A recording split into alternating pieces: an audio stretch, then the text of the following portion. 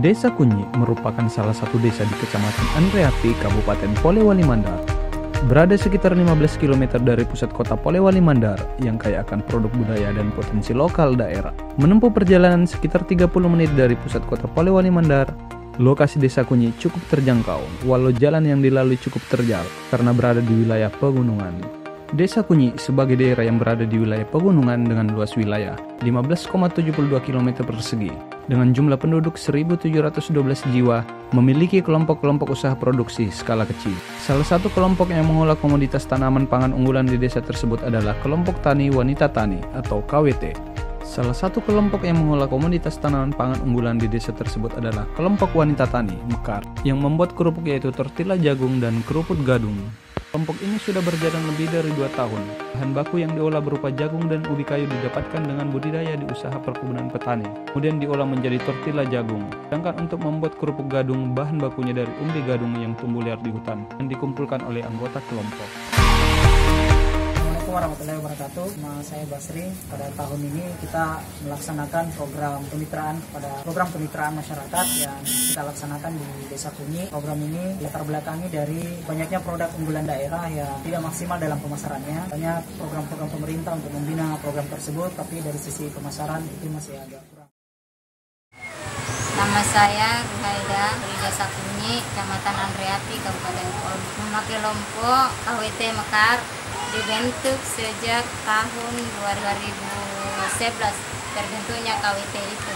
Produk ini terbentuk tanggal tahun 2014. Jumlah anggotanya ada tujuh orang. Eh, yang dari desa Kunyi, saya sendiri, Ibu Ani, Ibu Jumriani, Jumraini, Ibu Nurmalasari, Ibu Hawa, Ibu Mulyati, yang dari kelurahan waktu itu dia seksi pemasaran namanya Ibu Suliani dia dia di pemanfaatan kekarangan.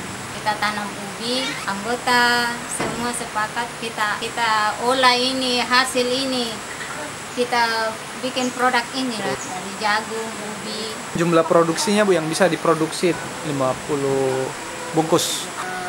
Tiga hari proses pemasaran. Awalnya kami titip di kantin-kantin sekolah kios Belum bisa ada. dipasarkan di luar. Harapan kami aplikasi ini yang dibantu yang dibuat oleh pihak UNASMA. pihak UNASMA ini bisa membantu kami memasarkan lebih luas lagi. Program kuliah kerja nyata, Lembaga Pendidikan dan Pengabdian Masyarakat UNASMA, hasil observasi menunjukkan bahwa desa tersebut, khususnya pada KWT Mekar itu memiliki potensi daerah, sehingga kita turun atau kita terjun untuk memaksimalkan program kerja yang dilakukan. Berikan pelatihan terkait penggunaan aplikasi untuk pemasaran. Selama ini mereka dalam melakukan penjualan toko ke toko, sehingga di zaman yang sekarang ini, ini kita implementasikan teknologi berbasis e-commerce untuk membantu penjualan yang mereka lakukan. Aplikasi yang kita tawarkan yang telah didesain, kami bersama uh, tim itu telah melakukan beberapa kali pembinaan, kemudian beberapa kali analisis aplikasi menyesuaikan dengan kebutuhan dari mitra kami di desa Kuni. Itu saat ini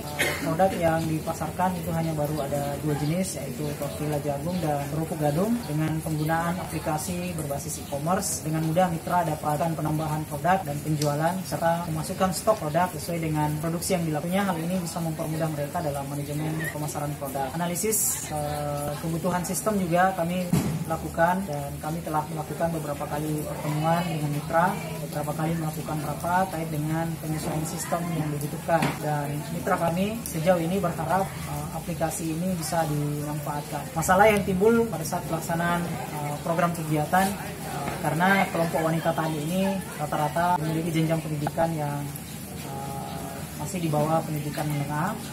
Yang kedua adalah kemampuan dalam menggunakan teknologi aplikasi itu cenderung masih kurang sehingga beberapa kali pertemuan, beberapa kali pelatihan minimal uh, dari sisi pengetahuan kami menjamin bahwa mitra kita sudah uh, memahami bagaimana mekanisme penggunaan aplikasi. Tentunya ini juga masih perlu uh, pembinaan atau pendampingan lebih lanjut sehingga strateginya adalah melibatkan aparat desa melalui beberapa